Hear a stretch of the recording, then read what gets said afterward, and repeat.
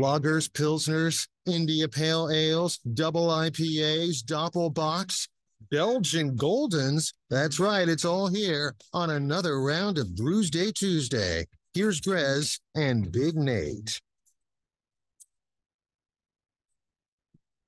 Hoppin' Tops. It's Brewsday Tuesday, brought to you by the Cellar Restaurant and Six Pack Store in downtown Blacksburg. It is yours truly, DreZ, along with Big Nate. We are sipping on some beers from Richmond, or I, I keep wanting to say nations, but I guess it's our our state's capital.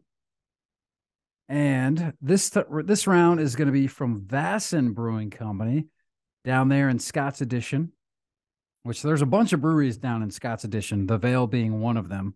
And again, I think the Veil does have a new location, but Vasen still fairly new on the block. I don't know. Uh, it doesn't say on my label, at least when they came around. But I do know that this label, it, it, tells me that this beer was bottled on February 13th. So when I got it, it was pretty fresh, and now it's still not not too shabby, especially considering that it is the Imperial Walrus, which is a stout aged in bourbon barrels. Just what I'm looking for. It's one of those 500 milliliter bottles coming in at 13.6. Oh, big boy. That is a big boy. Imperial Walrus sounds like, uh, for whatever reason, like if you were to join a cult, like the person in charge of that church would be called something like the Imperial Walrus. My mind goes to the Beatles. Imperial Walrus. like I, I, I, I'm all about it, man. I'm very intrigued. Is that a frosted bottle? I just noticed that too. I was like, damn, is this like a black bottle or something? It is. It is frosted. Okay. At first, I thought it was just super cold. But then yeah. I'm like, yeah, no, this is this is just a frosted bottle, which is pretty badass. That's an elegant touch. I, I do like that. Get a little distracted there. So from Vasen, I've got the double berry sour raspberry, red currant, which uh, is one of my favorites that you can't really get a lot here stateside. So that's pretty impressive. And hibiscus, 7.6 ABV, which is crazy for a sour. That's uh would be the sour equivalent to a big boy. But something they've listed on here that I've not seen listed before, and I had to do a little uh little research in the break to figure it out if I was correct. The pH, you remember learning about pH, like water balance versus bases, and uh, vinegar has a pH of three. Coffee has a pH of four. This is is wa- water is is water the baseline? Water is seven. It, it's so it, yeah, the middle. Yeah, that's right. And then it goes bases and acid. Okay, yeah. From, so zero to six is acidity. Okay, sorry. What were they again? So so, so vinegar is three. Your your average household vinegar. Coffee is four. This okay. is sitting somewhere between coffee and vinegar at 3.4. Okay. So, I've never seen pH listed before on a sour, but it is kind of intriguing. It makes sense that they would list yeah. that they would list. It. I've I don't think I've ever noticed that either. So it gets more. Is it? Does it go down to zero? Yeah.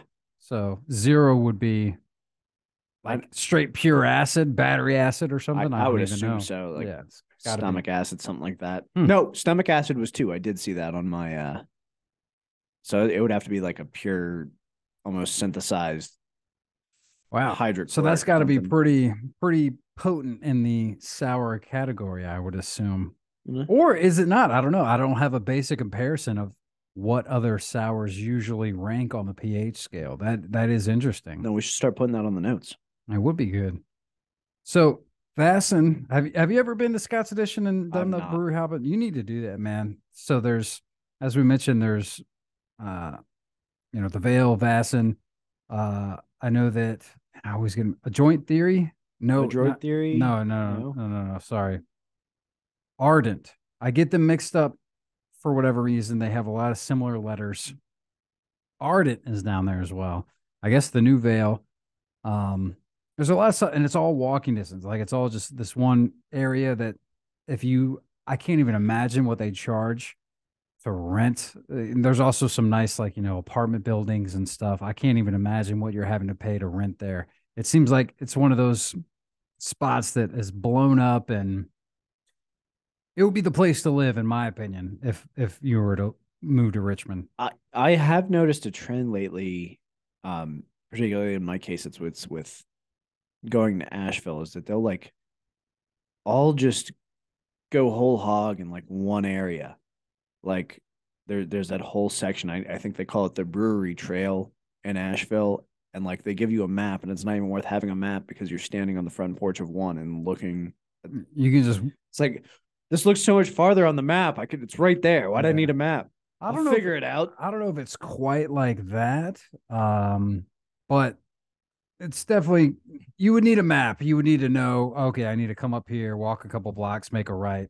But it's still very condensed and it's quality quality breweries, you know. It's not it's That's not just- important. yeah. It's not just hopping one to another, no pun intended, and and you know, just because there's an abundance of them. But that being said, there's more than just breweries. There is there is the spot that we went to after Vasen, I do believe. In fact, I know for sure. Been drinking all day, as you can imagine, hitting all these all these breweries, and I was feeling pretty damn good by the time I left Vasen, and we decided to go to this place called Tang and Biscuit. What do you think, Tang and Biscuit? When you think of that Tang's name, what Fish. It's like one of the most common fishes in the ocean. What else is it? Uh, the juice that astronauts drink. Yeah, that's the Tang we're talking.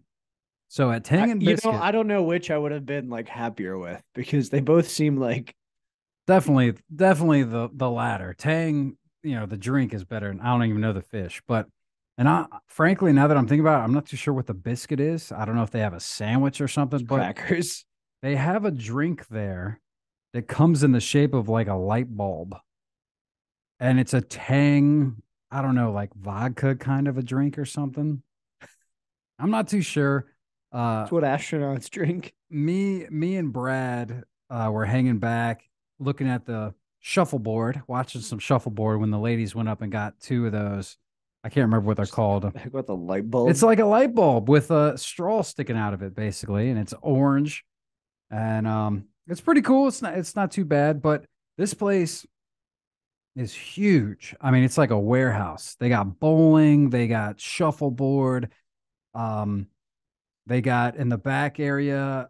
I can't even. I mean, I can't even remember what all the games they have. I feel like I've played foosball there. We were playing beer pong, is what we were doing. They had like two or three beer pong tables, so we hopped on that and played a little there. We played the jumbo um, Connect Four. They have that. They just got a bunch of games and stuff, and it's a bar. They had, but here's the thing. It must have been a Saturday night. They had a DJ, and we went there and I've been there before, but it was never, I guess, a Saturday night, but hopping. it was hopping for sure. And it was one of those hopping nights where we walked in and I immediately felt pretty old. I felt old, man. Like, I guess, I don't know if it's the spot for the younger crowd to go to on a Saturday night. I mean, maybe the games are the appeal. If These kids don't even know what Tang is. or if maybe you can't drink, you can still go to here and play games and have fun. But man, like it, I felt felt felt a little old there. Did you get carded? Probably not. They were probably. I, I guarantee you there were bouncers there, but they were like, "Ah, y'all are good. Go ahead." We don't need his ID. Mm-mm. I always and I don't know.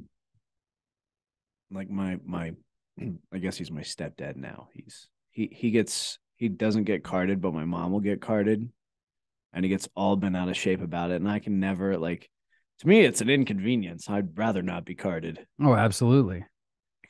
Like, It's a pain in my ass. I would much rather not be carded. When I do, I it's still the point where I'm like, "Oh, oh, okay, yeah, sure." But if you make the mistake where you somehow don't have your ID on you or something, then that can be There's really bad. there's that or like I've got this weird like lingering social anxiety is that like they're gonna like really look at my ID and I have long hair in my driver's license picture. It was taken in high school.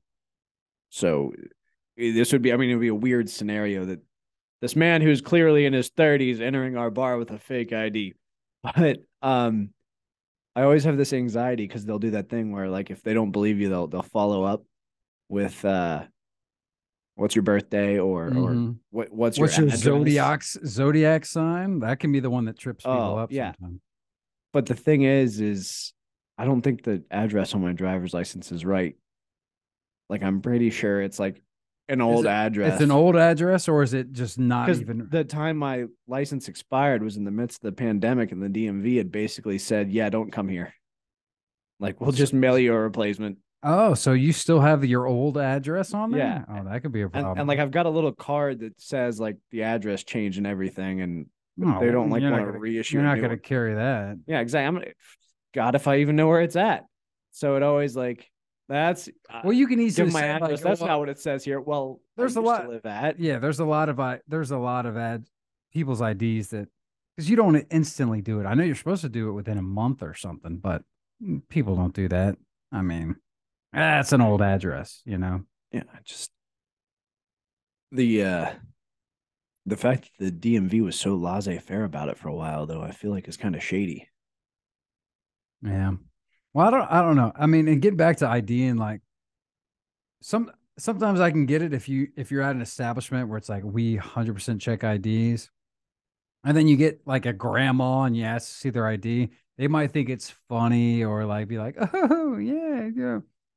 But and not to uh not to bring it. I mean, it it ended up being fine, but and it wasn't this past year, but the year before, my mom and my grandma, who at the time I guess was probably, well, she's 95 now. So 94 year old grandma went to Fork and Cork, 100% ID check. And grandma doesn't walk around with her purse Yeah. usually and stuff. And they didn't think to bring her ID. And they asked and were like, we need to see everyone's ID. And you look at my 93 year old grandma, you're like, Re- you you really you need you need to see it ended up working out but Have you ever seen the Little Rascals? Cause for all I know, you're three young ladies in a trench coat. yeah well either way uh ever since then and this past year they're like we need to bring your id and make sure that you can go uh you know get in there no problem She just so wanted some wine. that's all that's She's all. earned it. grandma loves wine that's all oh man wine time every day looking forward to it can't get enough I, I do enjoy. I can only wine. I can only hope to be to be that spry and eager to drink day drink at that age.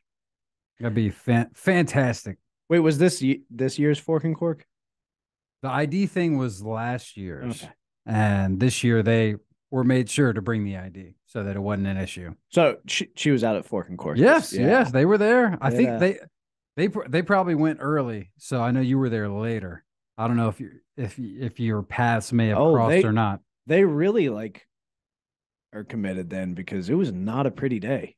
No, but I think I think they kind of figured maybe the weather um would be to their benefit and that would help with the lines because sometimes the lines can get long. I don't know. I've been to Fork and Cork in a while, but I know the lines got a bit outrageous at some point, And you basically needed to buy a bottle of wine and sip on it while you're waiting in line, and then you get up there to your tasting and it's gone.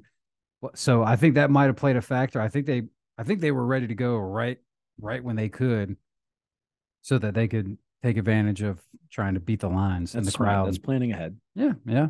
I mean, they've had the ponchos and they were ready to go. So Yeah, I, I, I similarly align with you. I think uh, if I'm 94, I want to be that eager and ready to rock. I mean, at that age, day drinking's. I mean, I love day drinking now. I can I look forward to at it. that point. At that, sleep good tonight. Well, I mean, at that at ninety four, you're ready for you're going to be ready to call it a day by five o'clock anyway. So Right. you need to if you're going to drink, you got to be drinking around that time. Got my wine, got my dinner. I'm going to bed. Speaking of drinking, that's what we're doing here, Brewsday Tuesday. This is definitely a nice uh, frosted black bottle from Vasen Brewing Company out there in Richmond, the Imperial Walrus. It is going down quite well. I will have you know, I know we do like the half pour. I didn't do the half pour. I did a little because I didn't want to drink all my half during this segment. So don't pour all the what's left in this bottle. I, I get a little bit more coming my way. But man, mainly because I, I need it. This is delicious. A stout brewed and bourbon barrels. We've been over this before. When it comes to stouts, I need it to be sweetened or I need it to be barrel aged. And of course, this falls into the latter, man. 13.6%. It's got the notes you're looking for. Just a big hearty beer. I mean, it doesn't even the taste at that point when 13.6 does the taste even matter? You're just like, oh, this is going down. It's very drinkable. Uh, do you remember Four Loco? Taste absolutely matters. I was more of a juice guy. Oh, okay. You were one of those. Yeah. But no, this this went down real smooth, real easy. I'll I mean, I'll do it. I'll give it a five. I love the label too and the name. And I just also really enjoy the brewery. Vasen, they have really cool artwork when you come in. Uh, the people were very kind. In fact, like I said, we've been day drinking all day, and they were kind enough because my phone got down to no joke, literally one percent battery, and I was still trying to check in beers. Got to untap. Like, I was like, man, do, do you guys happen to have a USB C charger back there? Can you hook me up? So I was able to keep keep the drinking going thanks to the the fine folks at Vasen. That so, is a support team if I've ever heard of one. yeah, and the beer's good too. So definitely go check them out. So everything about this, You concur, yeah. I was Yeah, going to say everything about this berry. beer is is delightful. I don't know. Uh, if you're watching on the video, you can see it. It's it's this beautiful like pink plum color, and uh, it's fairly hazy. You can't really see through it. But it, as far as sours go, I I will say I can't give this a five, just because of the one that that your buddy Josh brought in was the best sour I'd ever had. Oh, so, So, now if I gave that a five, I have to like be fair here. So this this is, I mean, I'll I'll go ahead and not bury the lead. This is a four seven five. It is damn delicious. I even I looked it up. I even gave that a four two five. I was gonna say- so if I'm giving that a high score like that, a sour, then The thing with this though is that high ABV mhm. kind I of think makes that's- me really want to like. that probably boost played, it. that played that played into my factor. I can I'm I can say they're even. So we'll go ahead. I'll, I'll I'll retract that. This can be a five as well. Um, inclusion of the red currant. It, it it's got a very like. I mean, you taste it, you want to like immediately pucker up, but it's like you're having a, a some sort of imported sour candy. Like, uh, of course, we have them here, Sour Patch Kids, but like Haribo has their their traditional line that comes from Germany, and they include currant as one of their flavors, but they've also got a sour line. This tastes like the the currant sour gummy bear, and uh, Mm. one of my favorite candies in the whole wide world. So, uh, yeah, I, I'm happy with it. This is not the best sour I've ever had, but it is up there, tied, I guess. Tied, really? I mean, you don't got to give mm-hmm. them that much credit. We can. it's, It's. I mean, God, it's it- it's it- something. It's, good beer. Delicious. It's definitely good beer. There's no doubt about it. Vasen Brewing Company out there in Richmond. Give them a try if you head to the capital. I mean, there's there's just there's no reason not to, man. There's a lot of great breweries in Richmond. You can definitely make a day of it, which is what I did without question. I don't know what we're doing next week, but it'll involve drinking on the radio, which My sounds favorite like hobby. sounds like fun to me. We'll take a quick break. We'll get back with the tunes right here on 105.3 The Bear. Stick around.